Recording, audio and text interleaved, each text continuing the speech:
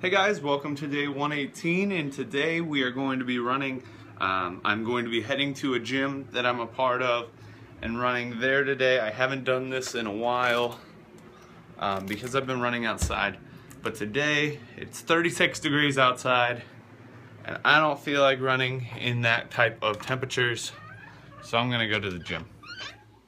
Paid for it for a reason. Um, anyways, I'm going to go ahead and uh, I probably won't film in the gym very much or at all um, because I'm still not super comfortable with filming in front of people, especially those people.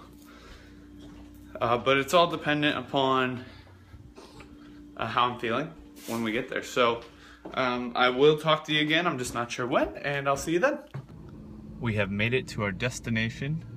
I will now go inside and rock this workout. all right, so we're home now. Um, got a good workout in all around. Did some uh, running, then I lifted. Um, did some more running.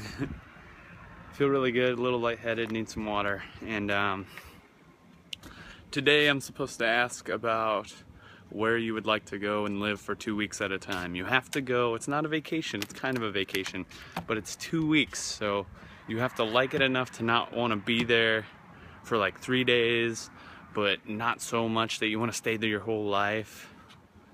Um, I think I could deal with the beach for two weeks. Seems fair. Uh, you guys have a great rest of your day. Um, let me know down below what you think about today, how you guys have been, and then where you want to go for three weeks or two weeks and uh, stay there on vacation for that long. Thanks for watching, guys.